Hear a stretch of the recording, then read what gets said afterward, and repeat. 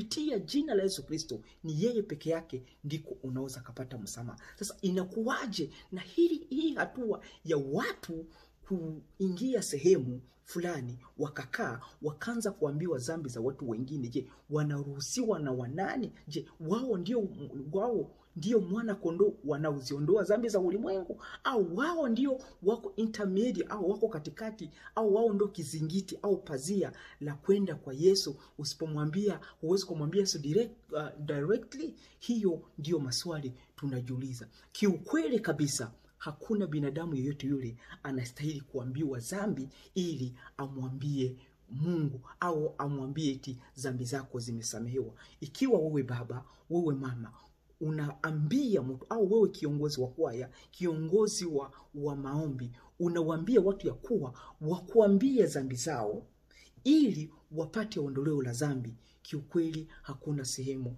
unawapeleka, unaenda una, unaenda kinyume cha maandiko, kwa sababu Biblia utakaposoma hii Matendo ya Mitume kumi arobaini na tatu haijakuruhusu wewe.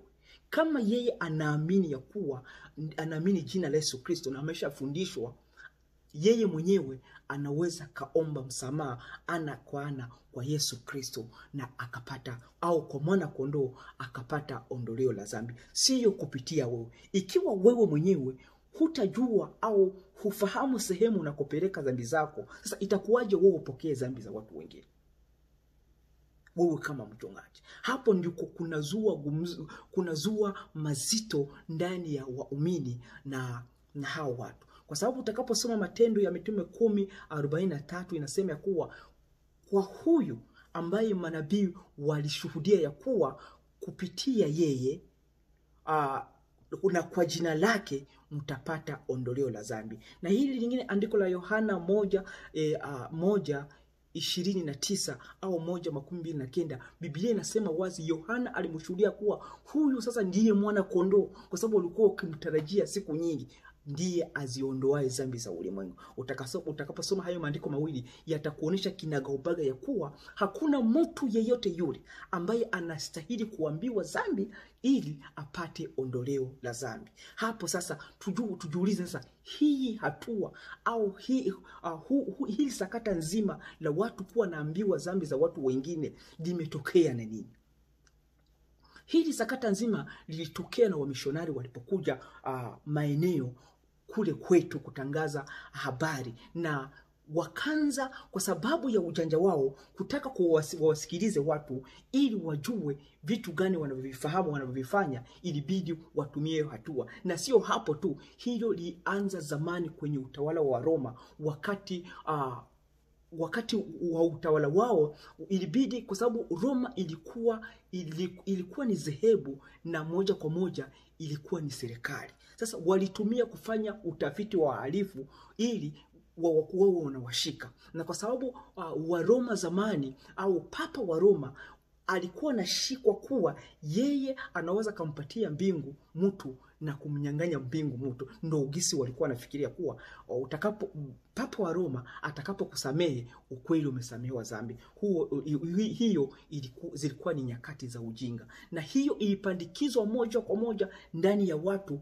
Unapo unapoingia hekaluni unakuta mtu anakaa kwenye kizingiti ili uanze kumwambia habari, na utakapomwambia habari zako, baada ya saa mbili unakuta zile habari zimepelekwa kwa watu wengine, au baada ya siku mbili unakuta unaingia kwenye shida, unashikwa kwa sababu ulimwambia binadamu.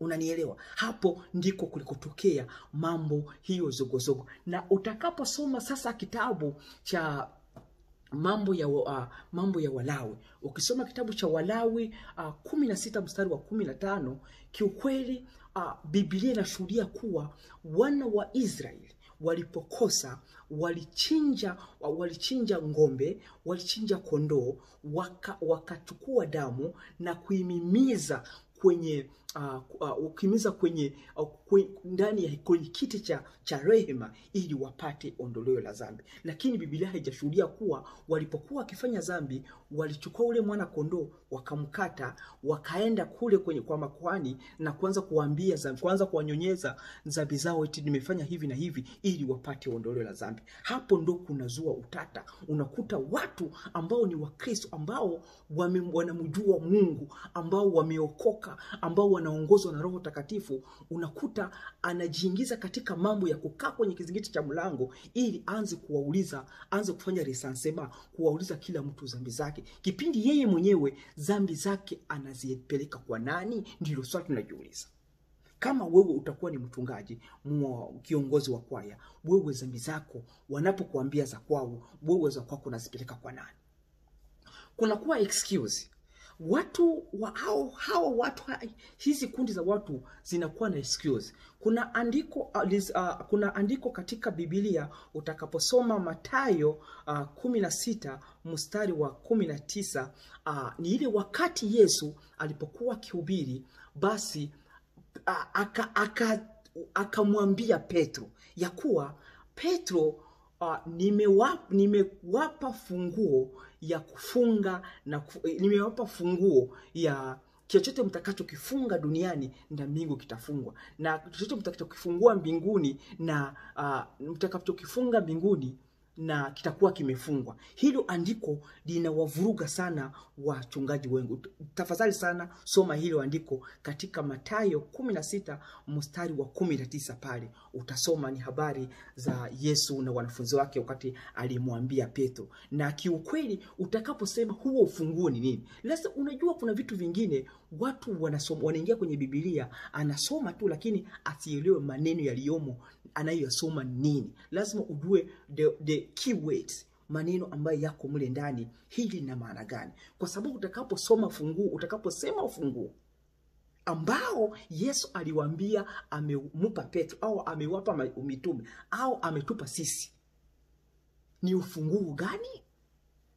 Na kile chochote kile tutakachokifunga duniani na mbinguni kitafungwa, na utakachokifungua mbinguni na duniani kitafungwa. Ni kitu gani?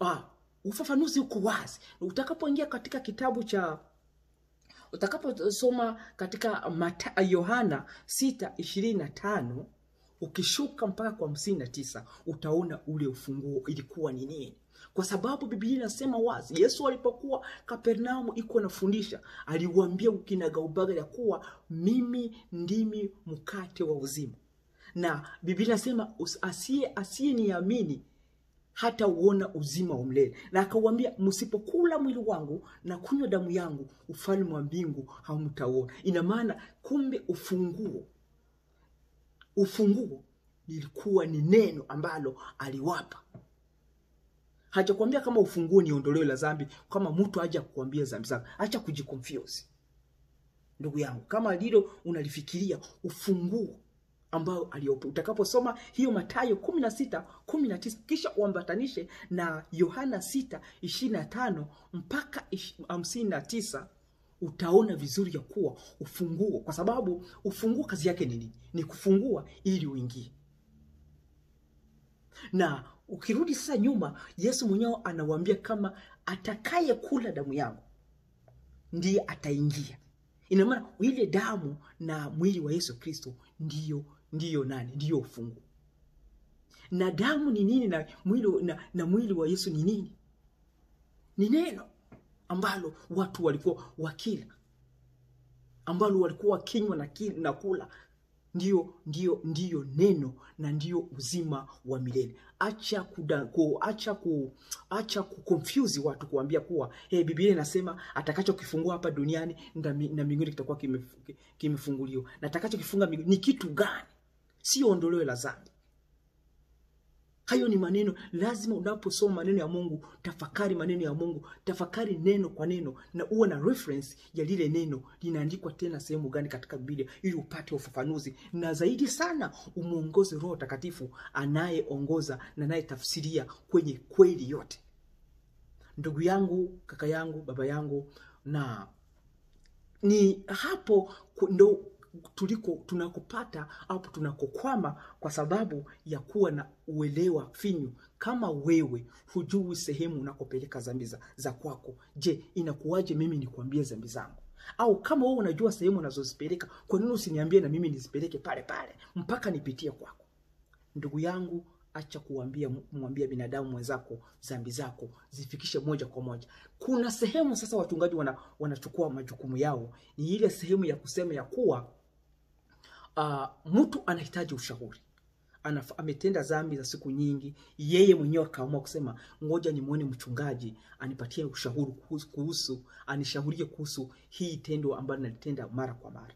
Moja kwa moja utaenda pale, atakupatia ushauri na uta uta, uta, utafatia ule ushauri na ule ushauri atakao kupatia hautoshi zaidi. Ushauri ambayo mshauri mkubwa zaidi ni Roho Takatifu. Ukimwalika atakushauri zaidi, lakini mchungaji atafanya ile kazi. Lakini siku wewe akuulize umwambie dhambi zako, wewe ukitaka sasa, unataka ushauri, ndio sehemu mchungaji anafanya nafasi yake na huwezi ukasamehewa dhambi zako.